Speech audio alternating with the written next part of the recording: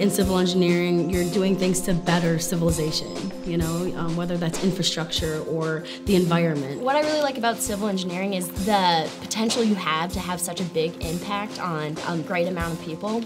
You are going to school for an education that you can later use to apply to make the world a better place. There's so many opportunities. You can work in the field, you can work in a desk. A lot of it has to do with people. You have to be able to communicate um, as well as using your very technical skills. When I came to visit SLU, where you have small class sizes and you can be close with your teachers, it was a small community of a bunch of awesome, well-rounded people. They're really trying to integrate techniques in the classroom to make the classroom environment engaging, and they're also trying to involve students in their projects outside of the classroom to make sure that those students get the most interesting experiences they can that are very realistic. So I work in a lab where we are testing arsenic pots. Arsenic in the water can be removed. We're hopefully going to send those pots across the world someday, and it's an incredible experience for a sophomore like me to be working in a lab and working with something that has the potential to change the world. I started doing some stuff I enjoyed right away.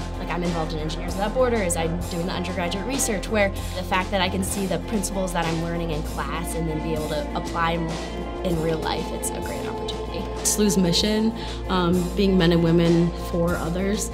I live with people who who believe in social justice and being men and women for others. And so that has also helped me live out my life with my career.